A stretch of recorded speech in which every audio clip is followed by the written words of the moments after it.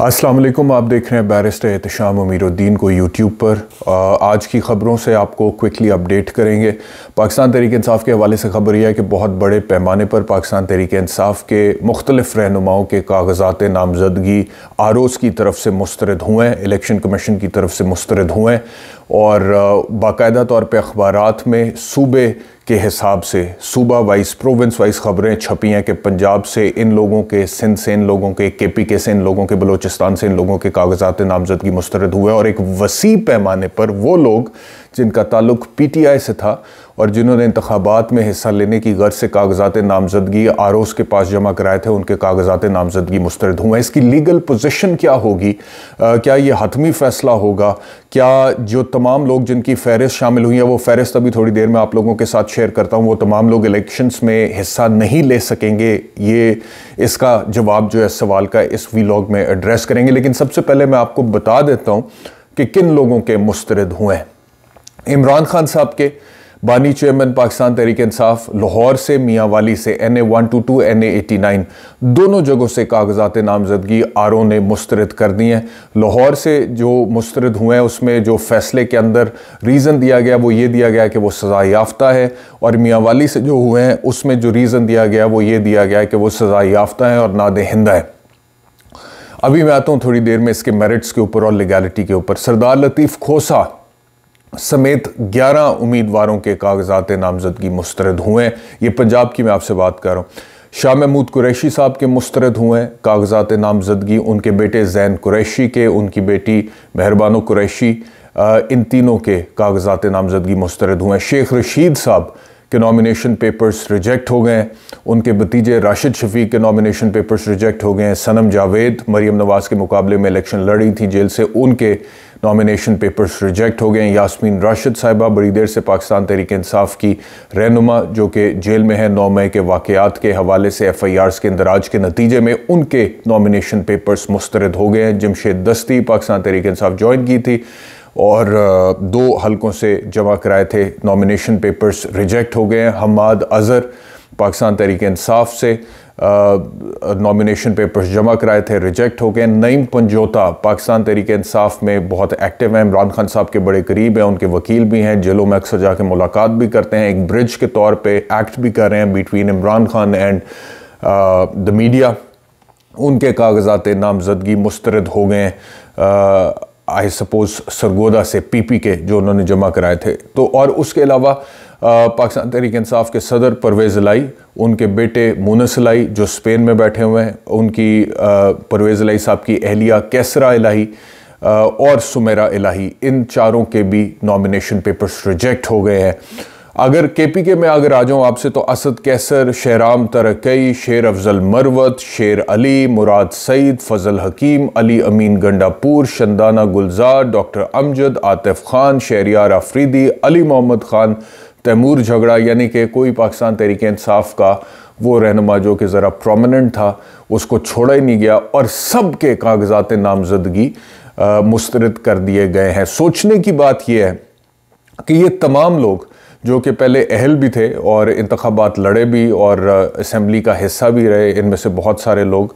आ, वो लोग अब पाकिस्तान तहरीक इंसाफ के टिकट पर अगर इलेक्शन कंटेस्ट करने की कोशिश कर रहे हैं तो तमाम के तमाम लोगों के नॉमिनेशन पेपर्स कैसे रिजेक्ट हो गए? यानी कि और किसी जमात के इतने वसी पैमाने पर नॉमिनेशन पेपर्स रिजेक्ट नहीं हुए। नवाज़ शरीफ साहब के मानसेहरा के बाद लाहौर से भी नॉमिनेशन पेपर्स एक्सेप्ट हो चुके हैं, हालाँकि लीगल कॉम्प्लिकेशन वगैरह उनकी मौजूद हैं अपनी जगह पे कुछ। अभी वो मुकम्मल तौर पर हल नहीं हुई हैं। लीगल कॉम्प्लिकेशंस जो माजी के कुछ फैसले तो उनके ख़िलाफ़ उनको एक वटल मिल गया, लेकिन कुछ फैसले ऐसे हैं जो अभी तक अपनी जगह पर मौजूद हैं।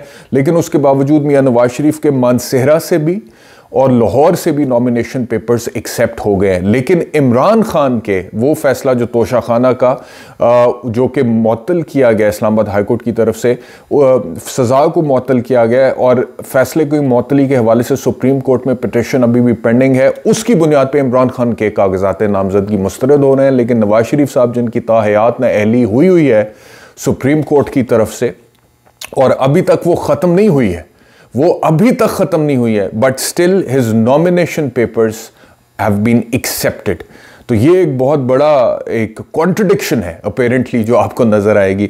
बहरहाल, कासिम सूरी बलोचिस्तान से उनके कागजात नामजदगी मुस्तरद हो गए अब सवाल ये पैदा होता है कि ये तमाम लोग पाकिस्तान तहरीक इंसाफ के, जिनके कागजात नामजदगी मुस्तरद हुए हैं, आर की तरफ़ से क्या ये इंतबात में हिस्सा नहीं ले पाएँगे? जवाब ये है कि ऐसा नहीं है। जिस तरह ट्रायल कोर्ट के फैसले बहुत सारे आपको पता है कि आते हैं और ऊपर एपलेट फोरम्स पे जाके वो टर्न डाउन हो जाते हैं। जज हमायूं दिलावर का फैसला हक के दफ़ा दिए बगैर इमरान खान को तीन साल की सज़ा, इस्लामाबाद हाई कोर्ट से इवेंचुअली वो सस्पेंड हुआ। इसी तरह ज़मानत का फ़ैसला इमरान खान, शाह महमूद कुरैशी का ट्रायल कोर्ट से ज़मानत नहीं मिली। इस्लामाबाद हाई कोर्ट ने बड़ा सख्त फ़ैसला दिया, ज़मानत मुस्तरद होगी, लेकिन इवेंचुअली सुप्रीम कोर्ट ने साइफर के तमाम जितना भी केस था उसके गुब्बारे में से हवा निकाल दी और दोनों को ज़मानत ग्रांट कर दी। तो इसी तरह निचले लेवल पे, इलेक्शन कमीशन के लेवल पे, निचले आर के लेवल पे, मेरे ख्याल में जो पॉलिटिकल इंजीनियरिंग का मेरे ख्याल में नहीं ये हकीकत है कि पॉलिटिकल इंजीनियरिंग का जो फार्मूला होता है, वो बड़ा आसानी से इम्प्लीमेंट हो जाता है। तो इसीलिए इतने वसी पैमाने पे पाकिस्तान तहरीक इंसाफ के कारकुनान के कागजात नामजदगी मुस्तरद हुए हैं। और ये आरोज़ के लेवल पर हुए हैं। और जैसे तैसे भी फैसले आ जाते हैं, पाकिस्तान में एक रस्म है, रीत है, रवाज है कि ट्रायल कोर्ट का फैसला आ भी जाता है।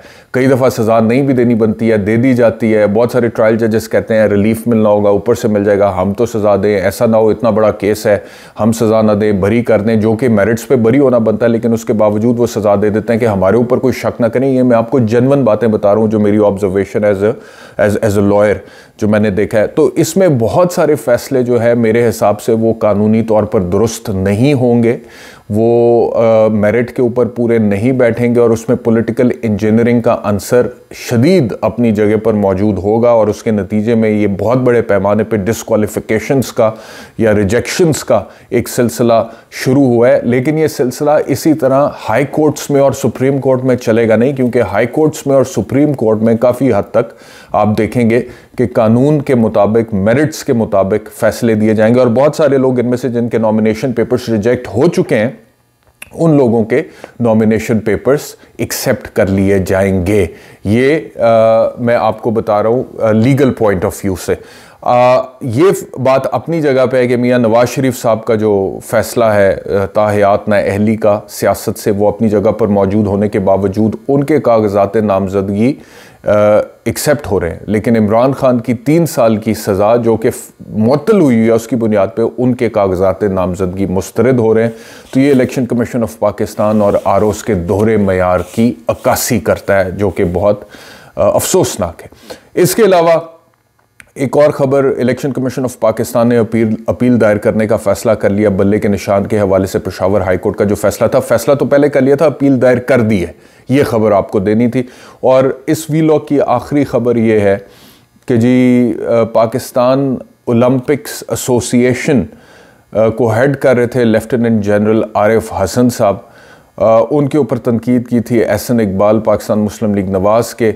उनकी परफॉर्मेंस के हवाले से कि ओलंपिक्स में 19 साल से वो बतौर एसोसिएशन के हेड के तौर पर बैठे हुए हैं। लेकिन पाकिस्तान की जो परफॉर्मेंस है स्पोर्ट्स के मैदान में ओलंपिक्स में वो मुसलसल इनहतात का शिकार हो रही है।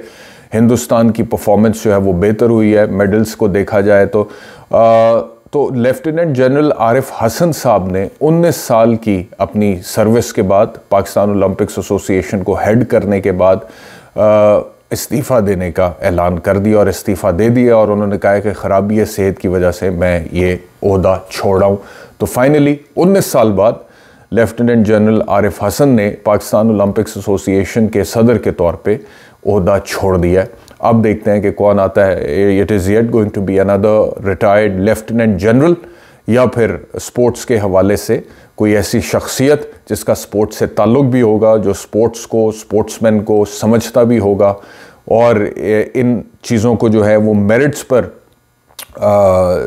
एनालाइज करने की सलाहियत रखता होगा, उसका एक्सपीरियंस भी होगा, ऐसे किसी बंदे को लाया जाएगा। बहरहाल, आज के वीलॉग में इतना ही। बहुत शुक्रिया, अपना ख्याल रखिए। अल्लाह हाफ़